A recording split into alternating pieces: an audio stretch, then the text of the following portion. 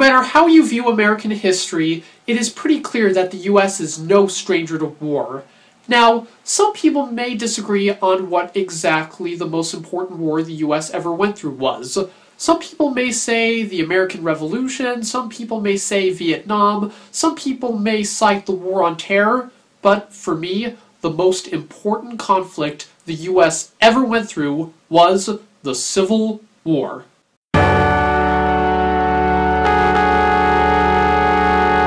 The American Civil War remains to be the bloodiest war the United States has ever fought.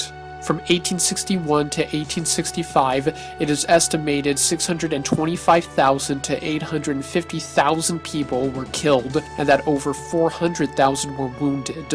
The battle between the northern states of America and the southern states of the Confederacy is one of the most defining struggles the nation has ever faced. It put brother against brother, swords against guns, and would decide the fate of millions of innocent people bound in chains still at the boots of privileged masters. Great men rose and great men fell. Poor and grief stricken men and women from both the North and the South could face off against each other on the bloody battlefields as the questions that were left over from the American Revolution finally had to be answered.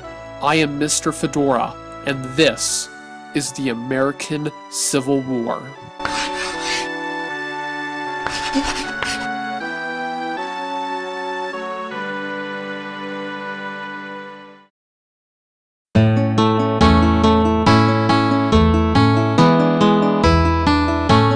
Ever since the end of the 18th century, when our founding fathers helped declare the 13 colonies free from British imperialism, slavery had always been an issue discussed by many people as America became its own nation.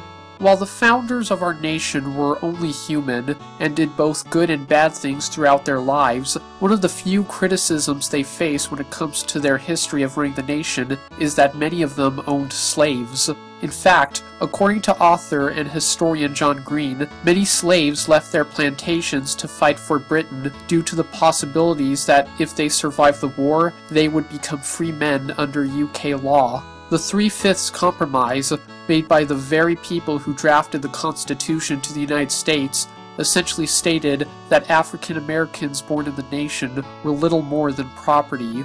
Shortly after the American Revolution came to an end, northern states started to outlaw slavery one at a time. By 1787, the U.S. Congress of the Confederation passed the Northwest Ordinance outlawing any new slavery in northern territories, and by 1794, the country had cut its ties with the slave trade. Over the years, anti slavery legislation would continue to be passed in northern states, and even some founding fathers, ironically, some of whom still owned slaves, called for an end to forced servitude and the violation of human rights. Two of these included at the time President Thomas Jefferson and Benjamin Franklin. Vermont was the first state to ban slavery. In 1777, the Constitution of the state abolished forced servitude, and the state was admitted into the Union in 1791. Before any state seceded from the Union in the 1860s, the states of Maine, New York, Connecticut, Massachusetts, Vermont, New Hampshire, Rhode Island, New Jersey, Pennsylvania, Ohio, Michigan, Wisconsin, Indiana, Illinois, Iowa, Minnesota, Oregon, and California had all abolished slavery. However, from Virginia all the way down to Florida, the economy of the southern states was heavily dependent on farming and working in the fields, in contrast to the northern states' attempts at industrialization. This made slavery much more popular in the southern states in order to exploit individuals for free labor while also avoiding economic collapse. No state in this area of America, which is sometimes known as the Bible Belt, had outlawed forced servitude. Though there is more to what caused the Civil War than seeing which states had outlawed slavery and which did not. It was clear, especially in the early and mid 1800s, that the issue of slavery would continue to plague the future of the U.S. as the nation expanded to the Pacific Ocean in the Manifest Destiny. In 1854, in response to the Missouri Compromise that regulated slavery in America's developing western territories, the Kansas Nebraska Act was passed. This act not only created the territories that would later go on to become two official states of the country, but also allowed white male settlers to determine whether or not they would allow slavery in the developing land. While some supporters of this bill in Congress thought that this act would help ease the ongoing tension between abolitionists and supporters of slavery, instead, both pro and anti slavery elements erupted into Kansas. This eventually resulted in the conflict that became known as Bleeding Kansas. Bleeding Kansas began in 1854 as debates between both sides started to escalate as to whether or not Kansas should enter the Union allowing slavery, but eventually this erupted into open violence which began in October of 1855 with a man known as John Brown. Brown was an abolitionist born in Connecticut who believed the only way slavery could come to an end in America was through armed insurrection. By the end of November, a pro slavery supporter had killed a quote unquote free stater in the Kansas Territory. Violence continued to get worse, and John Brown responded to this by murdering five supporters of slavery in May of 1856. Afterwards, Brown and many of his sons began plans to raid Harper's Ferry in Virginia. He wanted to start an armed slave revolt by gathering access to the U.S. arsenal and encouraging violent opposition to forces that were pro slavery. On October 16, 1859, the raid began, but by October 19th, Brown's raid had failed and he was captured and tried for treason. He was found guilty and sentenced to death by hanging on December 2nd. John Brown went to his death with no regrets and famously proclaimed in his last words at the gallows, I, John Brown, am now quite certain that the crimes of this guilty land will never be purged away but with blood. While John Brown remains to be quite a controversial figure in American politics to this day due to his violent acts against people during his rebellion, many state that he was a heroic martyr who was not afraid to die in order to free innocent people who were trapped in miserable lives under the power of brutal landowners. The one thing that nobody can deny, however, is that John Brown was a key figure in the events that led up to the Civil War due to his lean positions in Bleeding Kansas and Harper's Ferry all preludes to the armed violence that would erupt due to the opposition against slavery. Another event that made many abolitionists believe the U.S. federal government was in favor of slavery, in addition to the Kansas Nebraska Act, was the 1857 decision of Dred Scott v. Sandford. Scott, a slave who was taken by his owners to free states, sued for his freedom. In a 7 to 2 decision, Scott was denied his sovereignty, and the court case basically established that slaves, regardless of whether or not they were in free territories, had no rights compared to the majority of the population. Though another result that took place due to the Kansas Nebraska Act that would be the final straw was the 1860 presidential election. After the act was passed, the Republican Party was formed as a movement to end the expansion of slavery. 1860 would mark the 19th presidential election for the United States, and the Republican presidential nomination for the race was a former Illinois congressman known as Abraham Lincoln. Lincoln grew up on the western frontier of Kentucky and Indiana, and was a self educated man who would later go on to become a lawyer and a member of the now non existent Whig Party. He then became a member of the Illinois House of Representatives before being elected to the U.S. House of Representatives in 1846. Lincoln promoted the rapid modernization of the economy, but had trouble gaining re election from Illinois voters due to his opposition to the Mexican American War. He returned to Springfield, but went back into politics in 1854 when he helped build the Republican Party. Lincoln became very well known for his heated debates with his rival, Stephen Douglas, when he ran against the Democratic candidate for Congress. He lost this race, but by 1860, Abraham Lincoln had secured the Republican nomination for President of the United States. Against Southern Democratic candidate John C. Breckinridge, constitutional unionist John Bell, and Democrat Stephen A. Douglas, Abraham Lincoln won, achieving the best popular vote and electoral vote. He won with almost 40% of the vote, which was over 1.8 million and 180 electoral votes. However, not a single southern state had voted for Lincoln. With an elected president who strongly opposed slavery, the results that took place in Kansas and Harper's Ferry, and the fact that most of the economy relied on slaves in the South, Southern states began to oppose the North more than ever, and on December 20th, 1860, South Carolina became the first state to secede from the Union. Before the first battle began, Mississippi, Florida, Alabama, Georgia, Louisiana, and Texas would join South Carolina and form the Confederate States of America. With states ready to split apart from the American government and ready at all costs to defend what they viewed as their way of life, war between the North and the South was inevitable.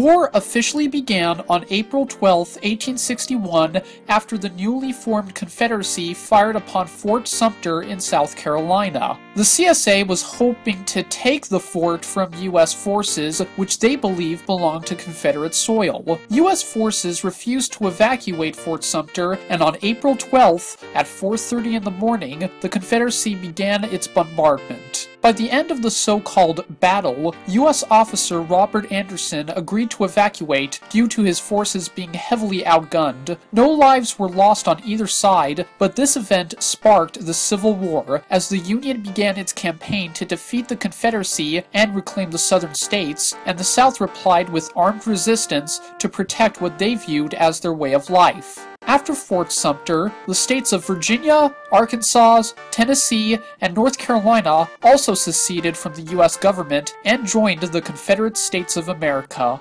Lincoln called upon 75,000 volunteers to help stop the rebellion. As the Confederacy continued to gain support, the official constitution of the CSA was adopted on May 11, 1861, and would remain in effect until the end of the war. Jefferson Davis, former Secretary of War and Mississippi Senator, had gained popularity from many states in the South and easily won the position of President of the seceded nation. He was inaugurated on February 11, 1861, and chose Georgian politician Alexander H. Stephens as his vice president. They were the Confederacy's first and only presidents. Richmond, the capital of Virginia, became the capital of the Confederacy in contrast to Washington, D.C., the Union's capital.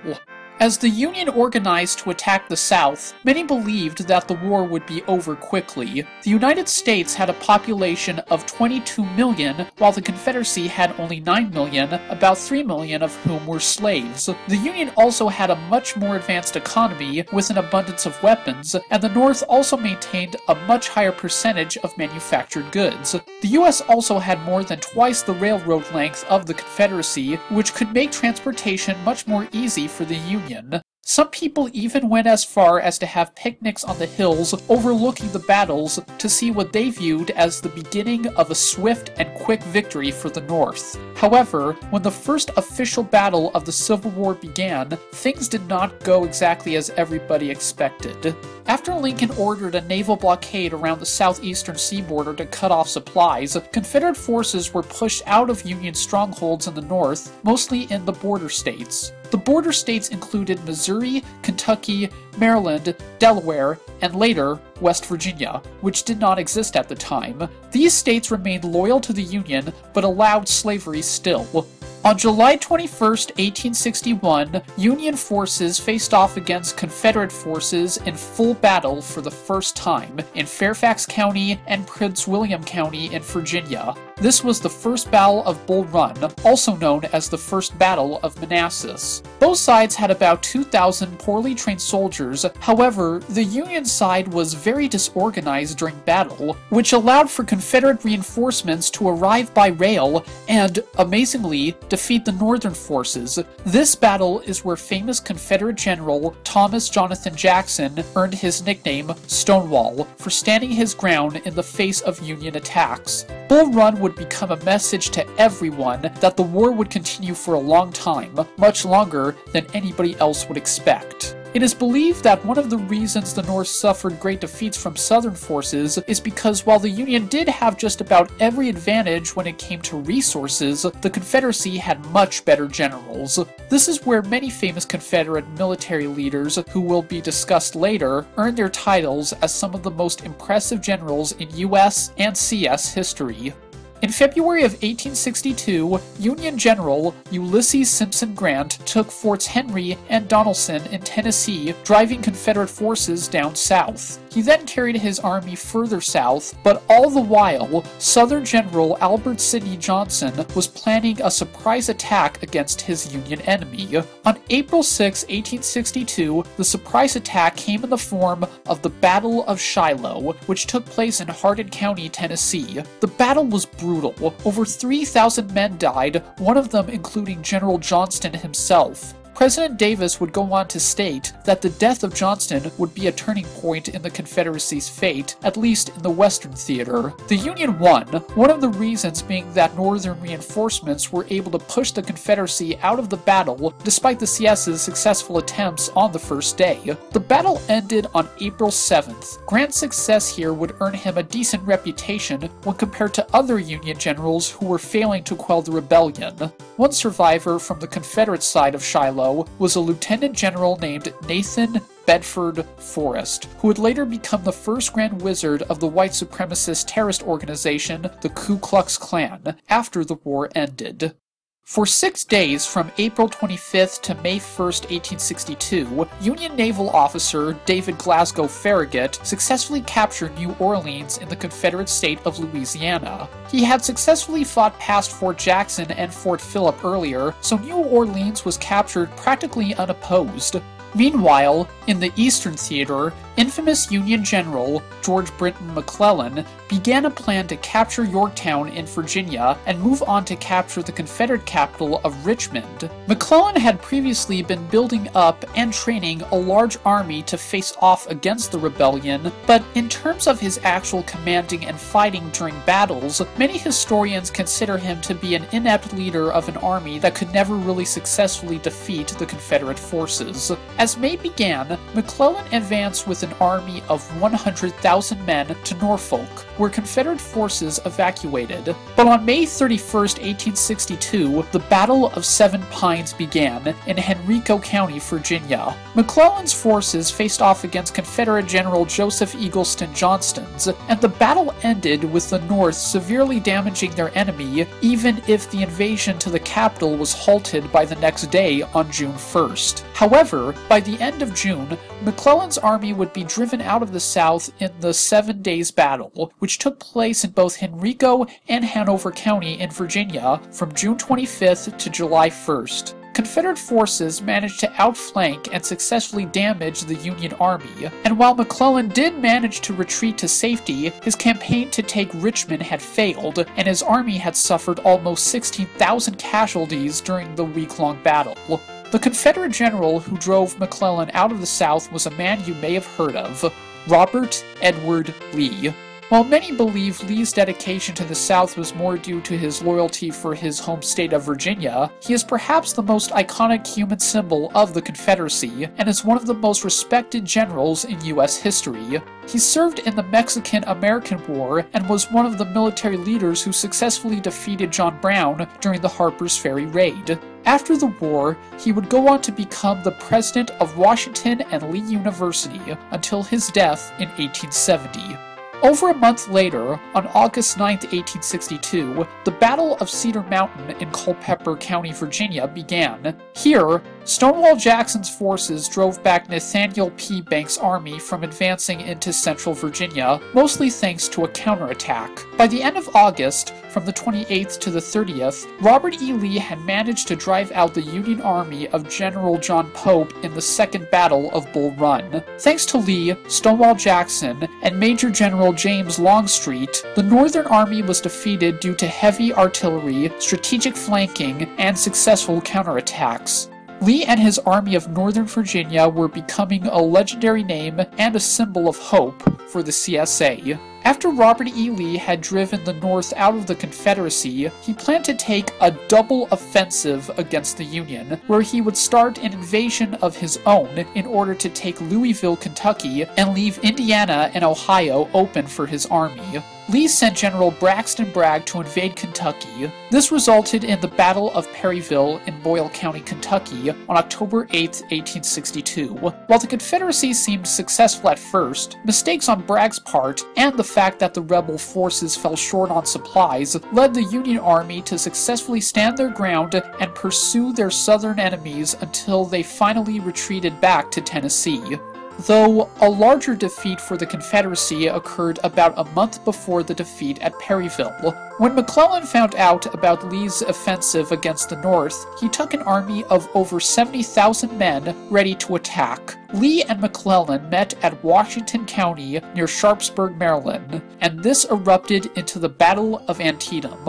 On September 17th, 1862, both sides kept on gaining different upper hands by capturing bridges and successfully flanking forces, which resulted in the bloodiest single day in American history. While not the most destructive battle of the war overall, this battle that began and ended on the 17th of September saw the most people die in a single day. Over 22,000 casualties were reported, including 3,600 people who died. One of the survivors of this carnage, whom whom I will be talking about later, was a second lieutenant named Robert Gould Shaw. While McClellan did successfully repel Lee's invasion, he did not maneuver to finish off the Confederate army as it fell back.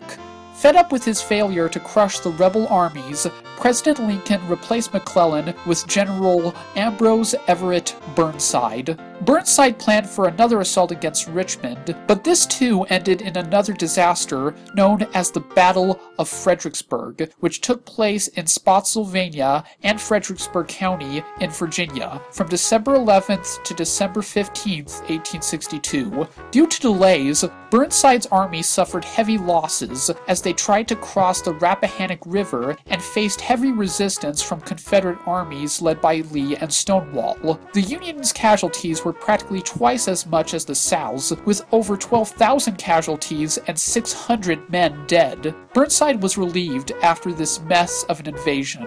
As 1863 began, Ulysses Grant proved his competence and success as a general back in the Western Theater with his siege of Vicksburg. While he failed to take the Mississippian town by the beginning of the year, he later met with the Army of Tennessee, determined to break the South's communication with the far west of the Confederacy. On May 14th, the siege of Vicksburg began. After Grant saw that his direct attacks were failing, he pursued a tactic of cutting off communication from the interior in order to attack the city. While this was going on, in Spotsylvania County in Virginia from April 30th to May 6, 1863, the Battle of Chancellorsville took place. Burnside's successor to the Union Army, Joseph Hooker, faced off against both Lee and Jackson after Northern forces tried to attack supply lines. Lee faced off against an army more than twice the size of his own. However, Lee was amazingly able to use tactics to divide his enemy's army and successfully win the battle for the Confederacy. This, combined with Hooker's timid decision making, meant that Lee won what some call his perfect battle, but he paid a huge price. He lost over 1,600 men,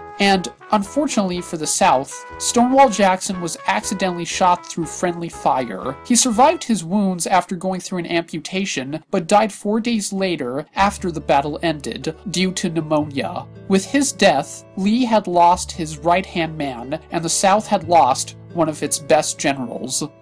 Moving back to the siege of Vicksburg, the battle ended on July 4, 1863, Independence Day. Despite being low on supplies, as the battle continued, Grant was finally able to hold out until the rebels surrendered, and the Union had control over the Mississippi River, dividing the CSA in two. However, a day before the siege concluded, an even bigger battle also ended. This is the biggest and bloodiest battle ever fought on American soil. This battle was the true turning point for the war. It was a battle that was the high point of the entire war in general. This was the Battle of Gettysburg. As Robert E. Lee took advantage of his numerous victories against the Union, he led his Army of Northern Virginia into Pennsylvania, invading the North. Originally, the battle was never planned, but instead happened due to forces from both sides needing shoes for their men. Gettysburg, a small town in southern Pennsylvania, was a place in mind for the Union and Confederacy to stock up on supplies, but instead, when Lee and Union General George Meade's Army of the Potomac met west of the city, it erupted into the deciding point as to whether or not Lee would be able to carry his men into the capital or not. The battle lasted for three days, and by cutting off communications and taking advantage of poor decisions made by Union leaders, the Confederacy seemed to be successful at first. But US troops formed a long line of defense along higher hills, which some historians refer to as Meade's fishhook. They were able to successfully defend this fishhook by using heavy artillery and forming well protected trenches in the forests of the hill, even protecting them through the nights. However, the third day saw what is perhaps the most famous military maneuver in the entire Civil War. With one last chance to break the defenses set by the Union, Lee sent General George Edward Pickett's men across the fields and Emmitsburg Road in order to split the enemy in two. The Confederates used their artillery against the Union's cannons overlooking the fields so that they could send their men safely across in order to attack.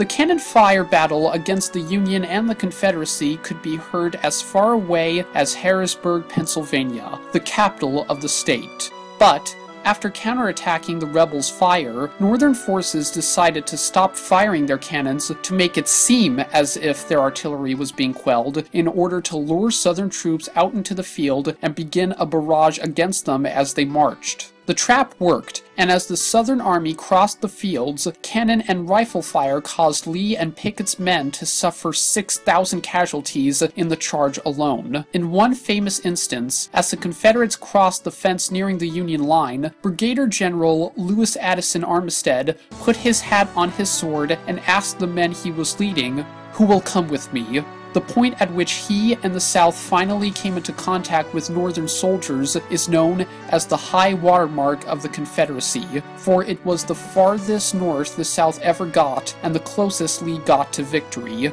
The charge, also known as Pickett's Charge, failed, and the Union won the Battle of Gettysburg. In the battle, over 5,800 soldiers died, and over 56,000 casualties occurred from this bloodbath. Robert E. Lee's army would never really recover from this defeat, nor would the Confederate army in general. The southern invasion of the North had failed.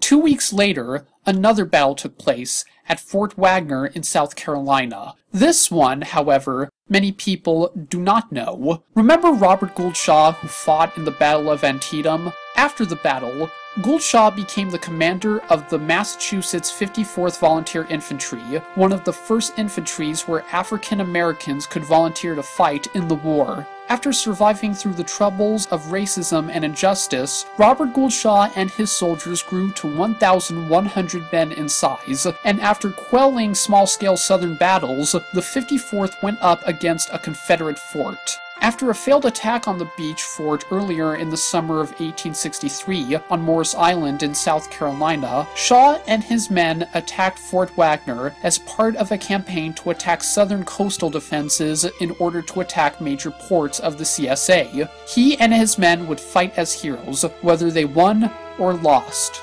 Shaw, along with other Union leaders, led the 54th across a narrow strip of land to Morris Island to attack on July 18, 1863. After sunset, Shaw led his men up the hill to a fort heavily defended by gunfire and artillery. On the way up, according to witnesses, Robert Gould Shaw was shot in the chest and was killed instantly.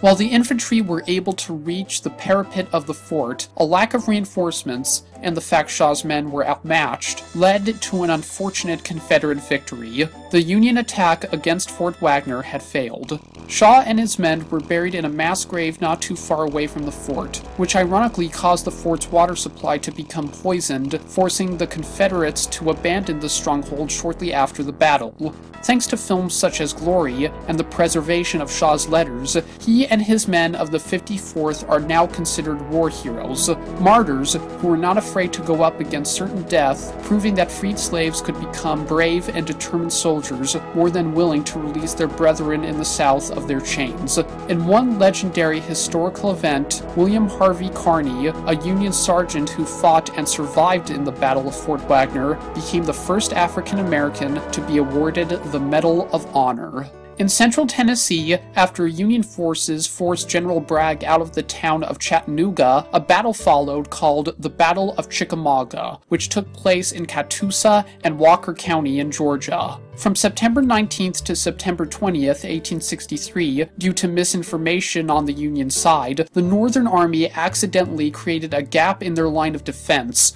causing the U.S. to retreat back to Tennessee. It was a very significant defeat for the Union at the time, but a little over a month later, Grant routed Bragg's forces from eastern Tennessee. As 1864 began, General Ulysses Grant was put in charge of all Union armies. In March, he and Meade launched a new offensive in another attempt to take Richmond, but surprisingly, even under his command, this plan still proved to be a major obstacle. From May 5th to May 6th of the year, the Battle of the Wilderness took place. Back at Spotsylvania County and Orange County, Virginia, Grant and Meade faced off against Lee when the Union Army was trying to maneuver through the dense woods of the state. Through a series of attacks and surprise flankings, Grant eventually directed his army away from the battle, hoping to avoid further conflict as his casualties neared 18,000 as the battle progressed. This then led to the Battle of Spotsylvania Courthouse, which lasted from May 8th to May 21st, almost two weeks. Here, Grant attempted to engage Lee under more favorable conditions, but with his attacks unable to successfully dislodge Lee, he disengaged the Army of Northern Virginia again after suffering even worse losses, and this then led to another major battle that was also inconclusive. The Battle of North Anna took place from May 23rd to May 26th in Caroline and Hanover County. As Grant tried to lure Lee's army into open terrain, he and Meade forded the North Anna River, but Lee replied with a trap to split the Union army in two. Grant fell into this trap, but Lee became disabled with an intestinal illness, and further orders from the Confederate leadership were unable to be executed. Grant and Meade would then suffer a terrible loss at the Battle of Cold Harbor at Hanover County from May 31st to June 12th. Just 10 miles north of Richmond, the Union had captured the crossroads of Cold Harbor, and both sides later received reinforcements after suffering heavy casualties from the previous battles. The Union's attempts to defeat the rebels were unsuccessful, and Grant's army stood in the face of a hopeless battle as a series of Confederate fortifications seven miles long repelled anything Grant could throw at them. It is said that in this battle, Grant's army suffered 6,000 casualties in less than an hour. The North suffered over 12,000 casualties total and lost nearly 2,000 men in the struggle. Despite these losses, Grant and Meade would still lead a successful campaign during the siege of Petersburg. For over nine months, from June 9, 1864 to March 25, 1865, while it was not a siege for the most part, in at least a traditional sense of a military attack, the Union launched a series of successful attacks against the rebels, which involved the use of trench warfare to capture the Virginia capital, which was vital in supplying Lee's army. Petersburg was also located just 25 miles away from Richmond. The final part of this campaign ended in late March, and the true siege began when Lee's army was finally defeated, which would later lead to his final surrender. While this was going on, in the Western Campaign, Union General William Tecumseh Sherman invaded Georgia with an amassed army numbering over 100,000. General Joseph Johnston faced off against Sherman in the Battle of Kennesaw Mountain on June 27, 1864, in Cobb County, Georgia. While Sherman's tactics to defeat the Confederate fortifications in order to advance his invasion had failed, the Confederate army still felt threatened and fell back to Atlanta, the state's capital. Johnston was replaced by John Bell Hood. At the Battle of Franklin, Hood invaded Tennessee, and at Frank Williamson County on November 30, 1864, the Confederacy lost in a disastrous assault. Union fortifications dealt extreme casualties to the rebels, including 14 generals, with over 6,000 casualties and over 1,700 soldiers dead. The Army of Tennessee retreated back with barely half of its men. Afterwards, Sherman marched through Georgia, practically unopposed, in his famous march to the sea. During this march, Sherman and his army pursued a scorched earth strategy, more well known as a total war strategy, which meant destroying everything and anything useful to the enemy. Targets of this march included civilian property, plantations, industry, and infrastructure, in order to decimate the Deep South to deal major damage to the Confederacy. Some say that tactics like this make war look so terrible, horrific, and traumatic that the enemy will feel as if they have no choice but surrender. The march lasted from November 15th to December 21st, 1864, and ended as Sherman finished his path of destruction at Savannah, Georgia, occupying the city. While Sherman was marching through Georgia, the Battle of Nashville took place from December 15th to December 16th, 1864, in Davidson County, Tennessee. Hood's Army of Tennessee was mostly destroyed due to aggressive Union attacks. As 1865 began, it was clear that the Confederacy was on its last legs. Due to the capture of the Mississippi River, the siege of Petersburg's success, the defeat of Lee's army, and the march to the sea, the Confederacy was split into three as Union forces occupied lands in Arkansas, Louisiana, Mississippi, Georgia, Alabama, and Northern Virginia. Robert E. Lee evacuated Richmond as Petersburg fell and headed south to North Carolina in an attempt to meet up with Johnston's forces. However, the checkmate of the Army of Northern Virginia occurred on April 9, 1865, at Appomattox Courthouse in central Virginia. Lee's retreat was cut off by Union forces, and after a short battle, Lee knew in order to prevent the complete annihilation of his army, he had to surrender. Ulysses Simpson Grant and Robert E. Lee met within the house of a grocer, William McLean, and Lee signed the surrender documents. After Lee's defeat, and the conclusion of the war, Ulysses Simpson Grant would go on to become the 18th President of the United States from 1868 to 1876. Shortly after Lee's surrender, Joseph Johnston had no choice but to meet up with Sherman after realizing Lee had been defeated and that he could no longer continue President Davis's wish to keep the fighting going. At Bennett Place, near Greensboro, North Carolina, Sherman had successfully driven Johnston into a corner because he invaded the Carolinas after his march. From April 24th to April 26, 1865, Grant and Sherman made negotiations with Johnston, and by the end of the month, the Confederacy Confederate general surrendered, Johnston's surrender ended the war for nearly 90,000 soldiers from southern states. It is the largest surrender of the Civil War.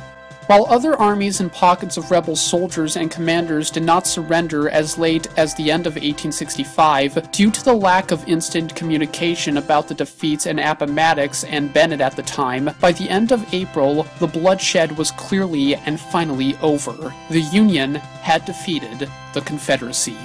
Throughout the war, new tools for destruction were used in some of the most damaging ways possible. Rifles, even if most still required ramrods and external gunpowder in order to be reloaded, were more efficient and accurate than the ones used to fight against Britain 90 years ago. Thanks to Connecticut industrialist Samuel Colt, the North was able to take advantage of one of the first weapons that could be fired repeatedly without the need to reload the revolver. Repeater rifles also saw heavy use during the Civil War, which showed many armies a new look at what types of guns would replace the single shot muskets. Guns in the Civil War also used the infamous bullet known as the minie ball, which was capable of greater range than most bullets and could splinter bone more efficiently on impact and make infection more likely. Cannons are also a symbol used for the entire American Civil War in general. Not only were the ones used in the Civil War capable of better range and impact than than the ones used in the Revolution, but different types of ammunition, such as the canister shot, could deal extraordinary amounts of carnage in the blink of an eye. Cannons used in the Civil War could fire nearly 30 small iron balls over a short range that could transform artillery into giant shotguns that could mow down 10 men with one well placed shot.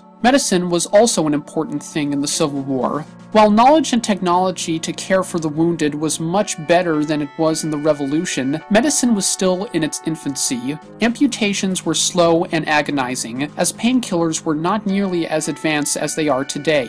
Many doctors didn't even clean their tools when operating. As many already know, more people in the war died from a result of infection and sickness rather than direct wounds. However, due to all this misery, women were able to show their effectiveness at a time when they could not enlist in the military. They did this by caring for the sick. Inspired by the legacy of modern nursing thanks to Florence Nightingale and the Crimean War, many women became nurses. One prominent nurse, who also worked as a teacher, was Clara Barton, who went on to found the American Red Cross in 1881. Women were also vital in supplying their armies with various necessities such as food and clothing. It is estimated that 400 women disguised themselves as Union and Confederate soldiers to fight for their countries.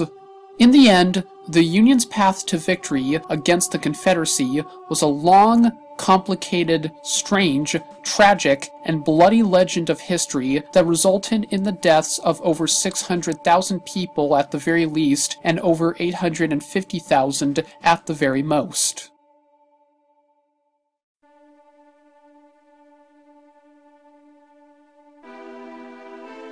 Then there is the other side of the war, that was the war that people like Lincoln fought, not just in Washington, but across the Union and the Confederacy.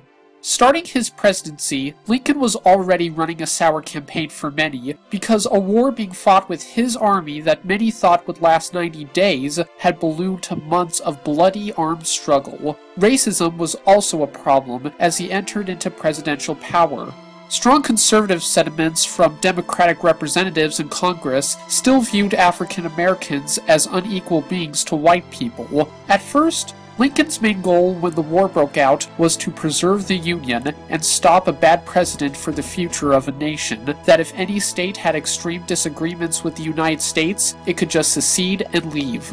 With all these problems, Lincoln suffered through much trouble. His re-election campaign in 1864 would prove to be a huge obstacle if the war did not end by then, and his new goal of abolishing slavery as the conflict continued was unpopular to many people in his own administration, because some believed that the CSA would never accept themselves back into the Union, only to find out that forced servitude had been completely outlawed, thus destroying the entire Southern economy. Despite all of this, Lincoln continued with the war and his political platform, in possibly his most well-known action in his entire presidency, on January 1, 1863, he issued the executive order known as the Emancipation Proclamation. This war measure was not passed by Congress, though it is still seen as an effective action of the Lincoln administration to end slavery because it proclaimed the abolishment of forced servitude in all portions of the United States not under Union control.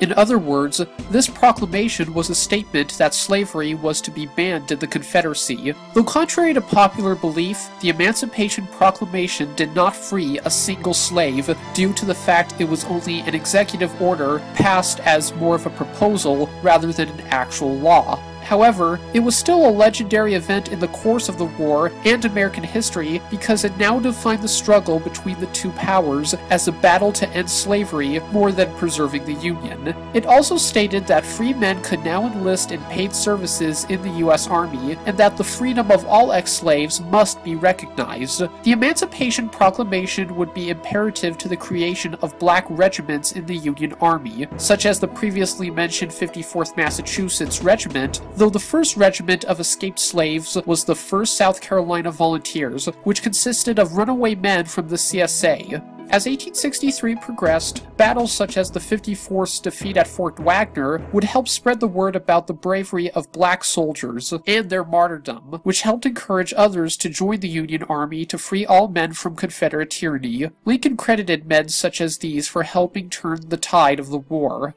By 1863, as the war swung in the favor of the Union, plans to craft an amendment to abolish slavery were drummed up by Representative James Mitchell Ashley. It would later evolve into the 13th Amendment to the United States Constitution. Republicans, both moderate and radical, supported the amendment in order to end what they viewed as an unjust form of cruel and miserable forced servitude, while Democrats were largely against it due to their favor of states' rights and anti federal sentiments. Debates would continue, but eventually, in April of 1864, the Senate passed the amendment with a vote of 38 to 16. But just two months later, it would fail to pass in the House of Representatives, failing to achieve a two thirds majority. Lincoln thought that after the war ended, his Emancipation Proclamation would fail to be relevant to all Confederate states after they had been readmitted into the United States. He saw an amendment as the permanent solution to the problem because in early 1863 he failed to arrange an agreement with southern states to end the war and come back to the U.S. with no penalties if they abolished slavery and collected loyalty oaths. The 13th Amendment seemed to be a solution where, as long as the war ended and the southern states were readmitted, slavery would end everywhere, no matter what.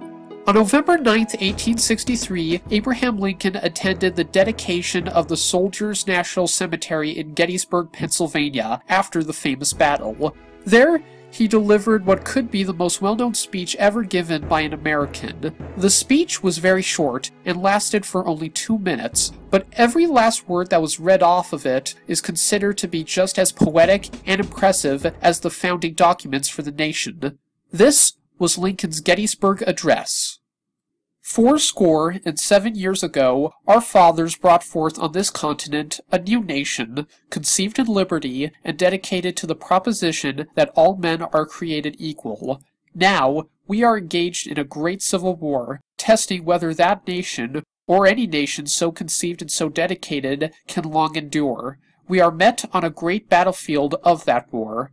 We have come to dedicate a portion of that field as a final resting place for those who here gave their lives that that nation might live. It is altogether fitting and proper that we should do this. But, in a larger sense, we cannot dedicate, we cannot consecrate, we cannot hallow this ground. The brave men, living and dead, who struggled here, have consecrated it, far above our poor power to add or detract.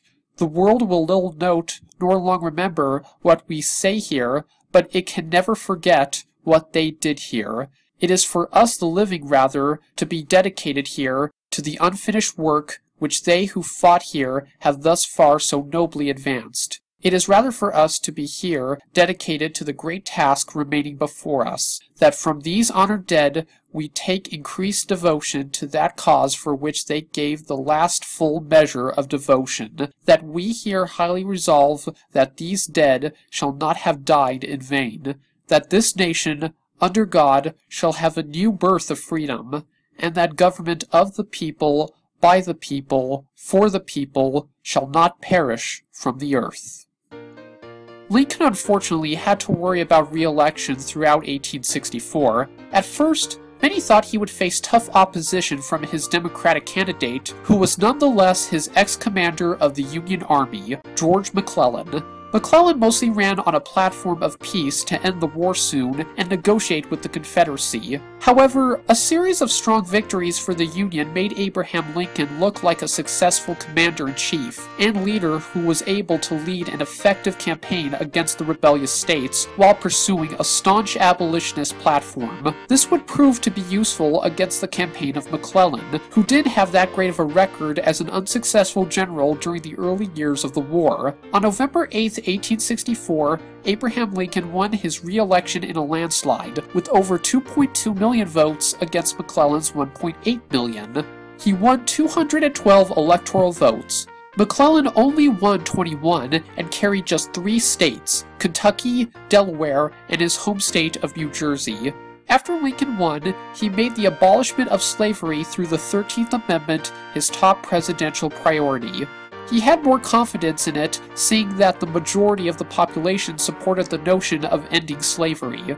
Lincoln did his best to appeal to Democratic candidates, many of whom had not been re-elected in November. Briberies were made, mostly due to the Secretary of State, William Henry Seward, and while hope for the amendment's passage always seemed to be challenged by pro-slavery reactionaries, confidence for the abolishment of forced servitude still grew as 1865 began. Finally, On January 31, 1865, the 13th Amendment passed by a vote of 119 to 56, little over the two thirds majority needed. Many supporters of this amendment, including black onlookers from above the House floor, erupted into cheer. As time progressed, and the Confederate States were readmitted into the Union, the 13th Amendment to the U.S. Constitution would be ratified state by state, ending the plague of slavery from the U.S.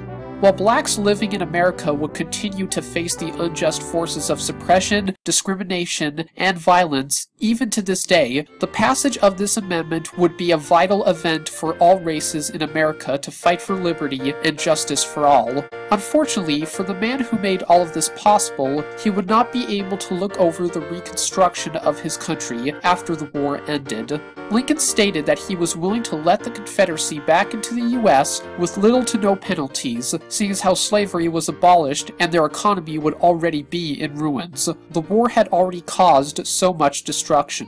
Then, tragedy struck. Five days after Lee's surrender to Grant, and 12 days before Johnston's surrender to Sherman, on the night of April 14, 1865, Abraham Lincoln and his wife Mary Todd attended the play Our American Cousin at Ford's Theater in Washington, D.C. Abraham Lincoln was shot in the back of the head by an American stage actor and Confederate sympathizer, John Wilkes Booth. Booth would later be tracked down, shot, and killed by a Union soldier while hiding in a barn he set on fire in his attempt to flee to southern Maryland. The next day, on April 15, 1865, Abraham Lincoln died. The entire nation mourned the loss of their president, and he was laid to rest in his hometown of Springfield, Illinois, at Oak Ridge Cemetery. Lincoln left an outstanding legacy for the history of the United States of America. His leadership through the Civil War, his efforts to end slavery, and his persistence to achieve his goals to lead the nation through one of the worst conflicts the country has ever faced has earned him the title as one of the best presidents of all time. Though not all of the success was due to the Lincoln administration, other people also played big roles in freeing slaves and helping the Union with the war. In addition to the previously mentioned figures of Robert Gould Shaw and Clara Barton, many freed slaves went on to become heroes for the U.S. before the war even began. One of the most well known of these other heroes was Araminta Ross, also known as Harriet Tubman, a woman who was born into slavery in Maryland but escaped to safety in Pennsylvania. She then went on to lead many missions to rescue slaves by bringing them from their homelands to the northern states. It is estimated that Tubman rescued approximately seven families in her missions. She is perhaps the most well known figure of the Underground Railroad, which was a network of secret safe houses and routes used by slaves to escape to the north. Harriet Tubman also assisted John Brown in recruiting men for his raid on Harper's Ferry, and went on to be an advocate for women's rights during the American suffrage movement. Though another person that must be brought up when discussing the war is Frederick Augustus Washington Bailey, better known as Frederick Douglass. Douglass was an escaped slave, also from Maryland, who went on to become a social reformer, writer, abolitionist, statesman, and a huge symbol for the fight to end slavery.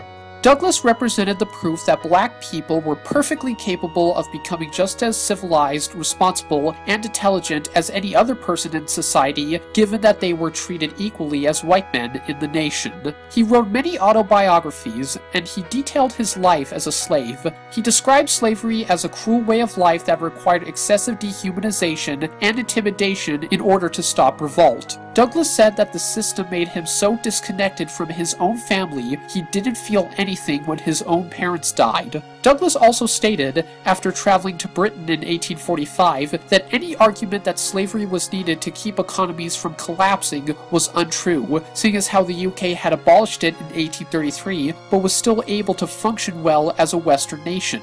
Douglass even once met up with John Brown two months before his raid and refused to partake because he believed the attack would only anger the American public and prove to be a failure. He went on to support women's rights before his death and believed that any person, regardless of skin color, gender, country of origin, etc., was born equally to everybody else. The creation of the state of West Virginia was actually a product of Civil War turmoil. After Virginia seceded from the U.S., the western portion of the state saw disagreements with the more eastern and southern areas due to political apportionment and the issue of slavery. This ultimately resulted in the secession of the western part of the state, which became West Virginia, and on June 20, 1863, the state was admitted into the Union as the 35th state to the U.S though it was a border state, as it remained loyal to the Union but still accepted slavery. Britain is also mentioned by some people when discussing foreign involvement in the war. While Britain remained neutral throughout the conflict, it is said that elites in the European country favored the Confederates, while public opinion favored the Union. Slavery had been banned in the UK 32 years before it was outlawed in the US, though the country never directly supported the North or the South.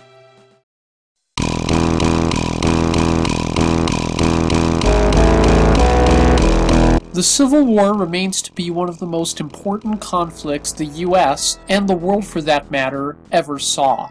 Due to this bloodshed, the US had survived, and slavery was finally abolished. The freedoms that were never delivered to the public during the Revolution were finally given to men during the battle between the Union and the Confederacy. It saw the great divisions in America's own people through political turmoil and fierce battle, some of the nation's most treasured heroes, whether or not they are well known, made their marks on US history, and warfare saw a drastic increase in power and brutality cannons mowing down countless men in an instant, lines of fire bringing some of the country's most tough and rugged farmers to the ground, and disease wiping out entire towns of people at times. Medicine started to emerge in order to really treat the sick, even if the methods to utilize it were very primitive. The Civil War includes both America's bloodiest day and America's largest battle. Some of the best generals in U.S. history were put to the test against each other, while men of abolition were finally trying to end slavery that had been troubling the nation for decades. The war's causes are still debated, along with the morality of the people who helped start it.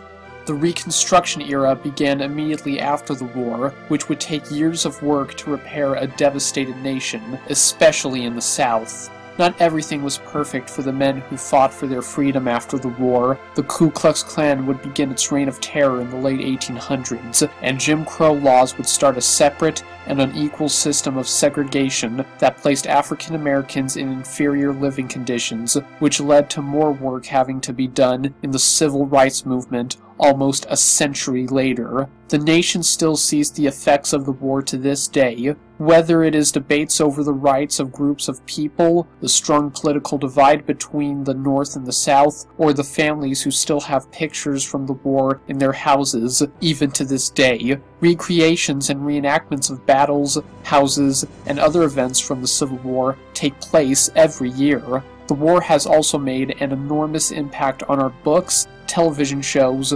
movies, and other forms of media. The Civil War serves as the basis for the story of Victor Fleming's romantic epic Gone with the Wind, Edward Zwick's classic war drama Glory, the 1993 film Gettysburg, and Stephen Crane's classic 1895 novel The Red Badge of Courage. Actors such as Matthew Broderick, Morgan Freeman, Denzel Washington, Cary Elwes, Martin Sheen, Jeff Daniels, Tommy Lee Jones, Daniel Day Lewis, and more have all played major figures in the Civil War on film as well. It has been a 150 years since this monumental struggle ended. So, for the occasion, ask yourself, what does the American Civil War mean to me?